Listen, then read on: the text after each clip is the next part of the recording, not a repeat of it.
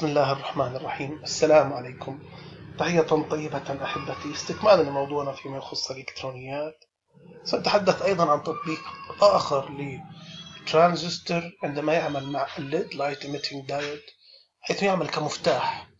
ترانزستور عمله كمفتاح في ال light emitting diode في ال LED لاحظ أنه يخرج منه الضوء ضمن نسق معين. عندي هنا ال V in بهذا الشكل. وعندي هنا على عبر ال base وعندي هنا الدايود كيف كيف سيعمل الدايود. طبعا في هذا في هذا الترانزستور نلاحظ نحن هنا نلاحظ نحن هنا بأن ال V in عندي هي شكل دائرة مربع شكل موجة مربعة. على شكل موجة مربعة موجة المربعة هنا عندنا طبعا 1 second عندنا على ال on. إذا off عندنا 0 second إذا عندنا off هنا أيضا 1 second طبعا كما هو واضح إنه صفر صفر فولت صفر فولت عندما يكون في منطقة ال cut off يعني هنا عندما يكون في الصفر صفر فولت فإنه ال VCC تساوي ال VCE هنا.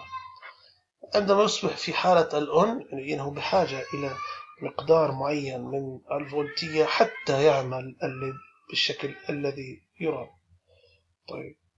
عندما تذهب عندما تذهب الموجة المربعة عبر عبر الترانزستور فإنه يشبع يشبع ويصبح في حالة انحياز أمامي. فيصبح عندي التيار الجامع هنا التيار الجامع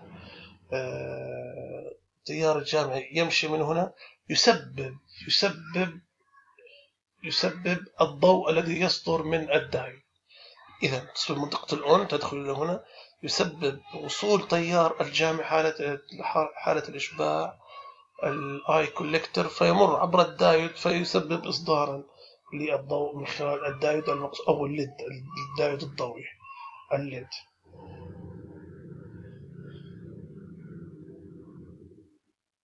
إذا ال LED هنا واحد second on واحد second off. بهذه الصورة يخرج ضوء معين وهذه دارة عملية. يعني تستطيع التأكد منها. عندنا هذا السؤال. يحتاج الليد هنا إلى 30 ملي أمب حتى يعمل. يحتاج إلى تيار الجامع يمر عبره بمقدار 30 ملي أمب. طبعا 30 ملي أمب. والتيار الجامع لابد أن يكون إذا 30 ملي أمب. بناء على القيم التالية. طبعا القيم التالية تحدد قيمة الموجة المربعة الداخلة الموجة المربعة الداخلة يعني الفولتج VN التي تلزم تلزم حتى يصل الترانزستور إلى حالة الإشباع. طبعا وهنا يعطيني هذا التوجيه وهو توجيه مهم جدا ضاعف أقل قيمة لتيار القاعدة كهامش أمان حتى لا يدمر الدايود. دعونا نرى الآن كيف سوف نحلها. إذا هذه القيمة المعطاة قال لي أن ال V LED الجهد عبر الدايود هو واحد فاصل واحد فاصل ستة فولت. آه ال RB مقاومة ال base هو ثلاثة فاصلة ثلاثة كيلو أوم. ال RC هنا هي عبارة عن ميتين وعشرين أوم. ال VCE saturation VCE هنا من هنا ال VCE طبعا من هنا إلى هنا VCE طبعا هي ثلاثة بالعشرة فولت. VCC هي عبارة يعني هنا عبارة عن 9 فولت البيتا الخاصة بالترانزستور DC هي عبارة عن 50 إذا المطلوب مني إيجاد قيمة ال V in إذا أحاول أن أحل بشكل مباشر. إذا ال IC saturation. IC هو عبارة عن VCC ناقص V LED ناقص VCE على RC إذا باستخدام قانون كيرشوف VCC ناقص V LED الخاصة بال LED ناقص الوصلة VCE مقسومة على ال RC إذا نحل أيضا عليها. إذا ال VCC معطى لأنه 9 فولت. ناقص التيار عبر الدايود الضوئي 1.6 فولت. ناقص الوصلة عفوا جهد جهد الدايود. ناقص جهد الوصلة 3 بالعشرة فولت هنا 3 بالعشرة فولت مقسوما على ال RC التي تبلغ 220 اوم اذا يصبح عندي قيمة التيار التيار الإشباع 32.3 ملي أمب. قيمة تيار الإشباع 32.3 ملي أمب. إذا أنا الآن طبعا أنا مطلوب مني أن أجد الفي إن.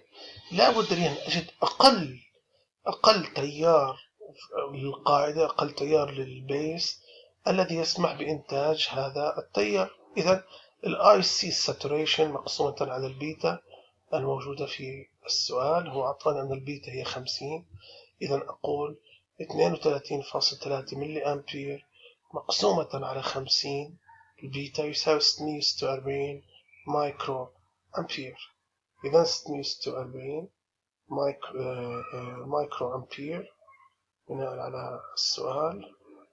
لو نتأكد من القيم هنا. صح القيمة مايكرو أمبير إذا لابد من التيار أن يكون أقل تيار في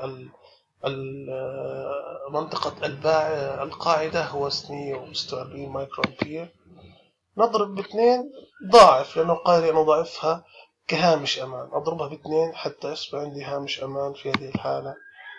ويصبح عندي هنا واحد فاصل تسعة وعشرين ملي أمبير. إذا لو ضربتها في اثنين فيها واحد فاصل تسعة وعشرين ملي أمبير يصبح عندي قيمة ضربها في آه، في اثنين كهامش أمان حتى لا يتلف ال LED أو الدايد هنا. إذا الآن ال IB ال IB هو عبارة عن الجهد مقسوما على ال RB. طبعا أنا الجهد عندي ال Vin ناقص VBE. ال VBE دائما فرضنا أنها سبعة بالعشرة. ال Vin أنا لا أعرفها. هي المطلوبة. إذا ال Vin ناقص سبعة بالعشرة مقسوما على ال RB التي قال بأنها ثلاثة فاصلة ثلاثة كيلو أوم. لا بد لها أن تساوي إذا 3.3 كيلو أوم يساوي الضعفين. الضعفين حسبناهم واحد فاصلة تسعة وعشرين. مضروب بار بي أضرب أضرب تبادلي. طبعا هنا أضرب تبادلي. في إن تساوي تساوي طبعا هنا واحد فاصلة تسعة وعشرين. ملي أمبير أضرب في ثلاثة فاصلة ثلاثة كيلو أوم. تصبح بهذا الشكل. إذا في إن ناقص بالعشرة تصبح واحد فاصلة تسعة وعشرين ضرب ثلاثة فاصلة ثلاثة كيلو أوم. عفوا. لاحظ عندي هنا. إذا يصبح عندي طبعا الناقص سبعة فولت أخرجها أيضا تصبح زائد سبعة فولت بهذا الشكل. إذا يصبح عندي الجواب أربعة فاصل ستة وتسعين بالمية فولت. إذا الجواب عندي أربعة فاصل ستة وتسعين فولت هو قيمة الجهد الداخل حتى يعمل ال LED وفقا للشروط أو وفقا لل parameters أو المحددات التي تم إعطائها لي خلال هذا السؤال. إذا كان هذا السؤال سؤالا عمليا بالمناسبة عن آلية عمل يعني سؤال عملي فيه تصنيع دارة دارة وفق هذه آه، الشروط. ترانزستور كما قلنا البيتا لو كانت عندك آه، ال beta ال VCC 9 فولت بطارية موجودة ال VCE saturation 3 من 10 فولت أيضا موجودة. يعني هي دار, هي دار عملية إذا هنا نحن تعلمنا في هذا الفيديو وفي الفيديو الذي يليه بأن يمكن استخدام ترانزستور كمفتاح آه، حالتين عندي ال cut off وعندي آه، وعندي حالة ال saturation الإشباع. آه، طبعا تعلمنا أيضا بأن بأن ال collector أو الجامع يصل إلى حالته القصوى تعلمنا أيضا أنه عندما عندما يكون ال collector آه، عندما يكون ال base أو القاعدة يساوي صفر فإن ال VCC تساوي ال VCE تعلمنا أيضا أن ال VCE تساوي طبعا في VCC عندما يكون التيار في عدم وجود تيار في ال IB أو تيار ال IB أي يعني أنه لا وجود لحالة انحياز الأمامي. طبعا وتعلمنا أيضا عن ال VCE ال minimum. ال VCE ال minimum هنا. تعلمنا في هذا المثال والذي سبقه أرجو أن يكون الفيديو قد أفادكم.